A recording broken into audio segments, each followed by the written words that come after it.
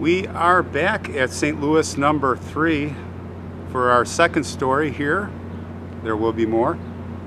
And this is a story about a very famous photographer here back in the day, back in the day when the roaring 20s and 30s and all of these things were happening here the crazy bohemian lifestyle, the artists, the writers, and if you go to a place in town that was called Storyville, very interesting place, that's where the, well, it was the red light district. So we're going to talk about a photographer. His name was Ernest Bellocq, and he was tied into that whole era. In fact, he was a very important player because, well, I'll tell you the story. Let's take a walk and look at some more vaults. Very interesting. So yeah, he came from a wealthy family here, Creole. And he got involved in photography at a very young age.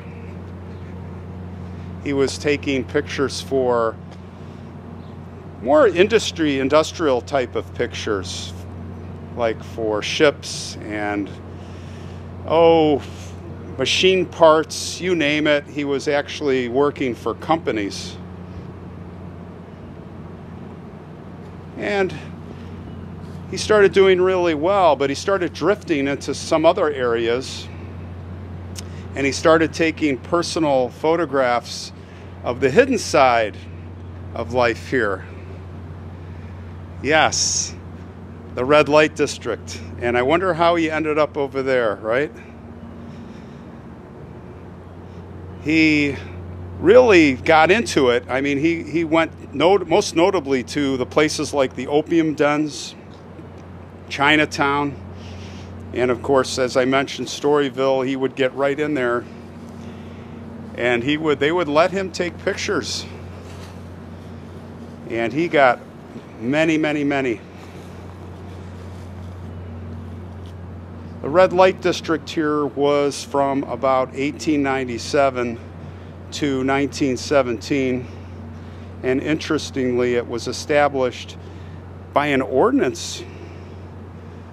It was legal. They wanted to regulate prostitution. And what do you think the alderman's name was? Sidney Story. So he gets all the uh, he gets the, the credit, I guess. Now, what's interesting is they had this blue book, and it's kind of like the it's kind of like the telephone book, where you can you know get the get the blue book and then kind of pick out who you want by address or by name, or you could kind of pick by race or special markings or other type of traits. So yeah, they it was it was kind of like the yellow pages for prostitutes called the blue book. And there are some notable characters.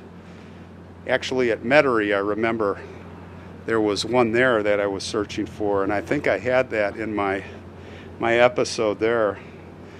But anyway, yeah, they could also be, of course, by race black, white, Jewish, French.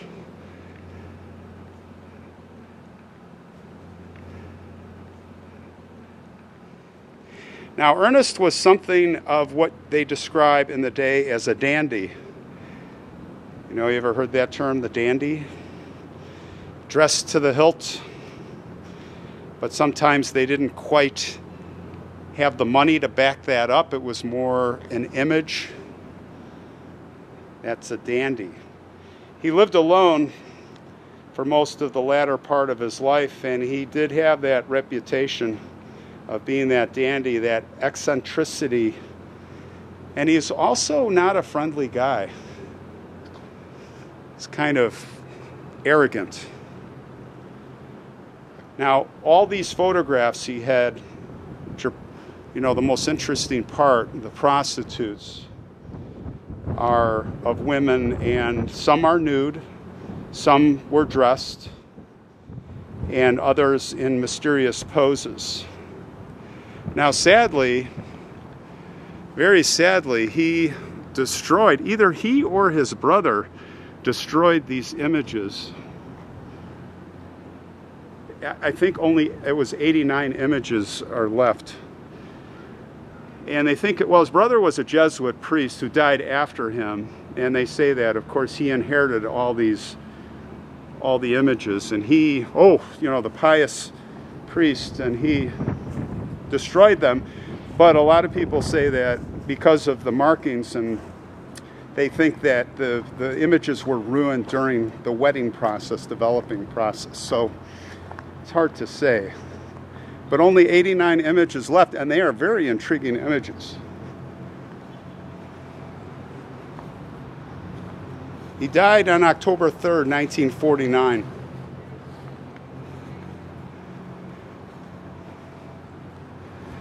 And as many of the crypts here, the, the way you'll see several names, like his crypt here. And he's on the bottom, the bottom name. They're all in here. And then the bones after a year and a day, or maybe longer if it's a smaller family. When the next one comes, they'll push them back, the bones, because in the summer here it gets like 100 in the humidity, and these things literally cook like an oven.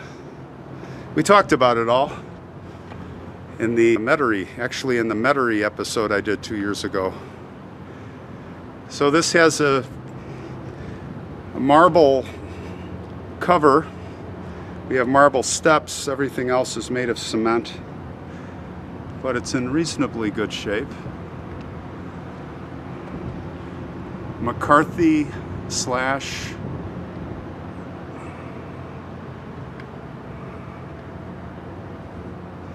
Bellocq.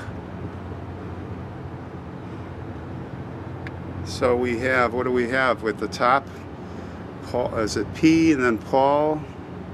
We have uh, Bellocq. So we have a, a couple of different families here. McCarthy and Bellocq, interesting. So yeah, I'm gonna do another one here. At least three. But this man left quite a legacy. He's, these are the only surviving images that can give you the feel, and not only of the women, but the interiors and the places, the Storyville. These images are makes makes Storyville still come alive. So it's amazing, amazing. It's too bad the others didn't survive. It would be amazing to see all of his images, but that's how it is. All right, we're going to do another one here. It's a beautiful place. Rest in peace to the McCarthy Bellocqs.